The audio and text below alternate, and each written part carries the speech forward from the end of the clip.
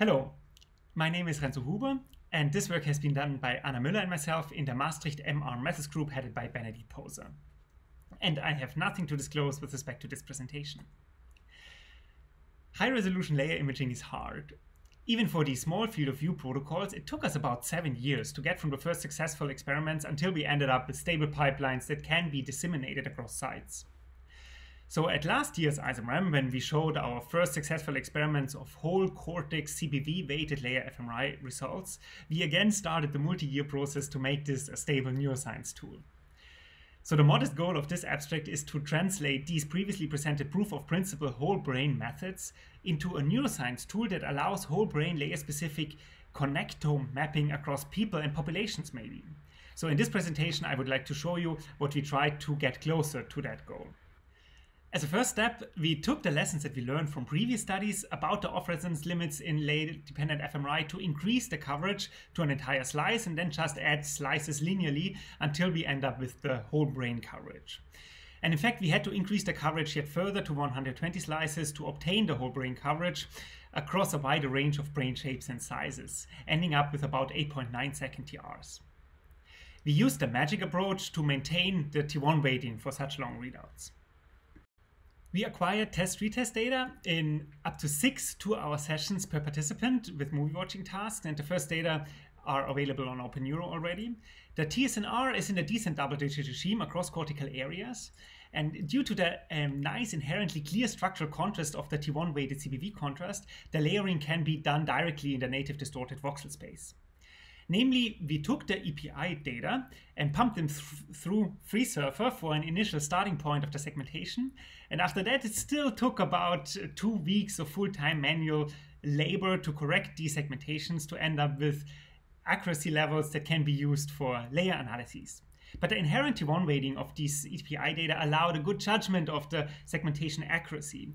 And this segmentation is then used in LayNii for equivolume layering directly in voxel space. Already after the very first sessions, we learned that the common acquisition and analysis procedures that work for conventional resolution fMRI or these small field of view laminar protocols do not really suffice for the whole brain laminar imaging.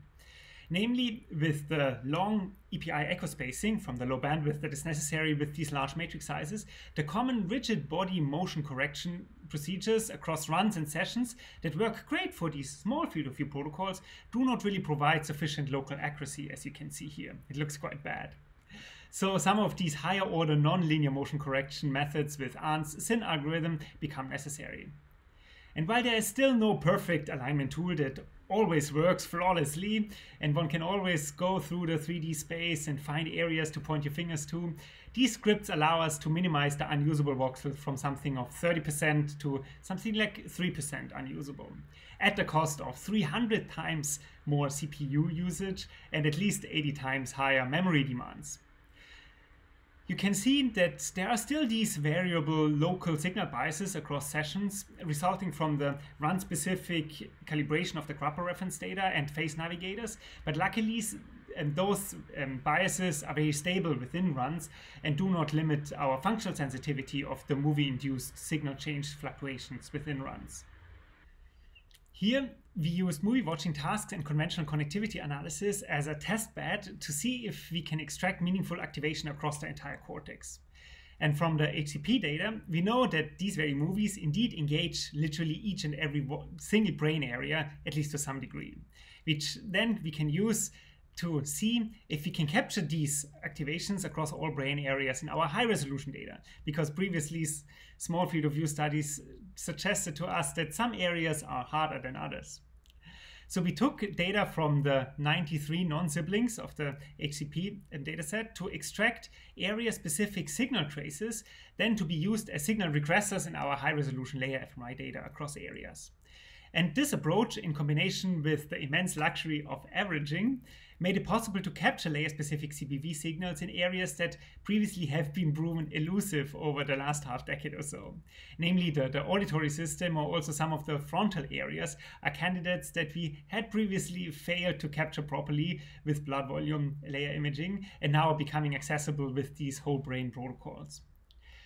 The remaining white spots on the map of layer-specific VASO imaging are still the inflow challenged uh, deep brain structures, as well as the generally challenging bottoms of the temporal lobes. One unique application that these whole brain layer fMRI blood volume data without venous biases can be used for is functional hierarchy mapping.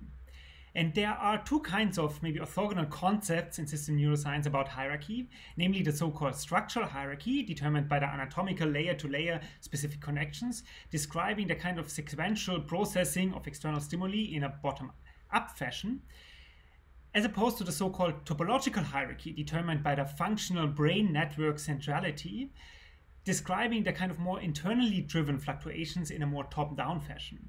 So in this study here, we can now look at both of them at the same time, for example, to see which one is most consistent on a kind of column by column basis.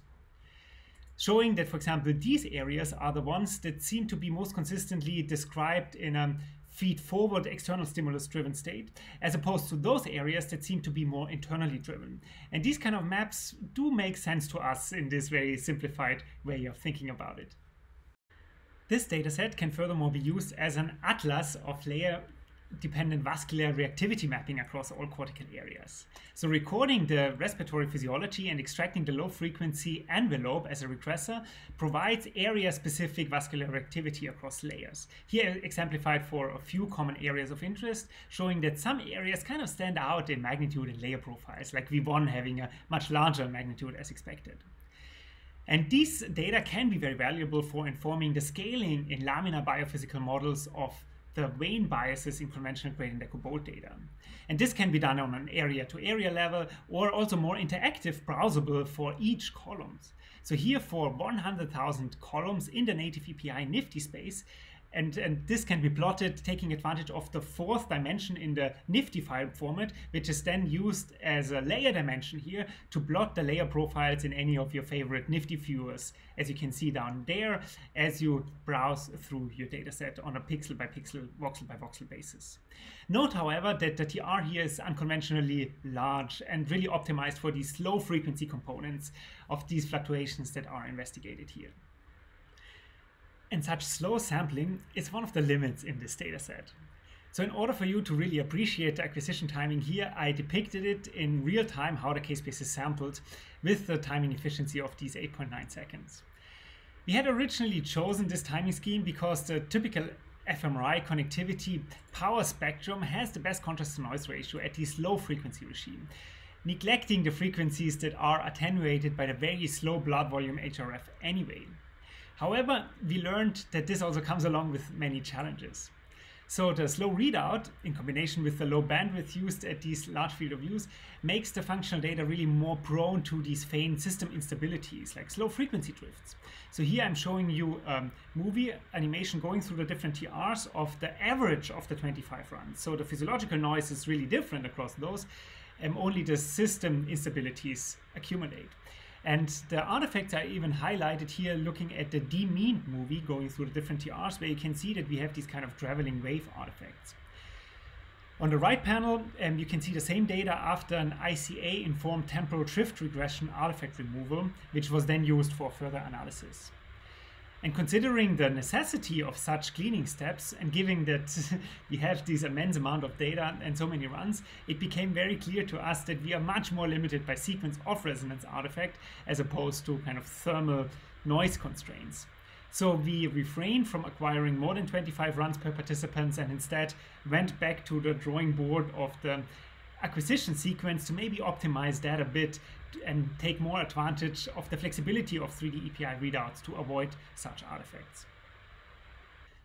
So rather investing more efforts in less conservative acceleration, namely aiming for a fairly liberal but rather common case-based sampling pattern as shown here, which can be achieved in many different ways. So for example, by doing a 2 by 3 acceleration and then applying blipped CAIPI corresponding to a trajectory um, as shown here. Or doing by a, a six-fold undersampling pattern in KY and then applying shifted CAIPI, ending up with the same reconstruction but very different EPI trajectory. And this sampling patterns basically comes down to the same as a threefold in-plane segmented um, acquisition and then having kz shifts here, which gives you the same reconstruction and also the same trajectory. Or you can also mix those two different approaches with the so-called skip CAIPI and then applying both shifts at the same time. So to ultimately minimize um, the aforementioned artifacts, in the first place, we followed the trajectory to keep the shot-to-shot -shot variations orthogonal in a different dimension as the low bandwidth in KY. Shown here for two different participants, you can see how the very same CAIPI patterns result in very different data quality depending on whether or not we um, are kind of mixing the short to short B0 variations with the low bandwidth direction of the T2 direction. Really tremendously increasing the data quality here with the same CAIPI undersampling pattern.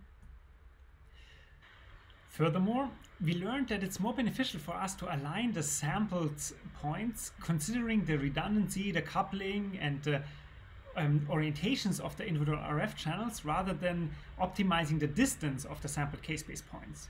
So we learned that it's better to refrain from spreading the sample points with the most homogeneous distribution, but rather favor uh, a larger spread in the anterior-posterior direction as opposed to the inferior-superior direction. With these segmented and accelerated sampling patterns and the respective lessons we learned, we invited another five participants to compare the common brain network activations across the different sampling speeds. Here, each one would be depicted in one column for the same participant, showing us that uh, TSNR per unit time is indeed not optimal for the original data in the left column here that we used in the first 10 sessions. Instead, TRs of maybe 5.8 or even 3.9 seconds can be more beneficial as long as they have a segmentation patterns that minimizes the, the off-resonance effect. So now having explored all this parameter space, we gain considerable flexibility to pick from a large spectrum of VASO whole brain layer fMRI protocols and sequences uh, with respective TRs that the experimental and the stimulation setup might demand. To look at more common timescales now for the next generation of multi-day movie watching experiments with additional four participants, we are now using a CAIPI sampling pattern with acquisition TRs in the more four second um, regime here to also capture faster neurally driven fluctuation with reduced susceptibility to these off resonance constraints. Here showing the visual motor network of a single 15 minute run with the significant activation patterns as you can see here um, of the functional activations in the overlay and the underlay would be the mean vaso data of this very um, 50 minutes run shown in the underlay. More information, materials, scan protocols, and data can be found on the links on the right. And with this, I thank all my colleagues and I thank you for your attention.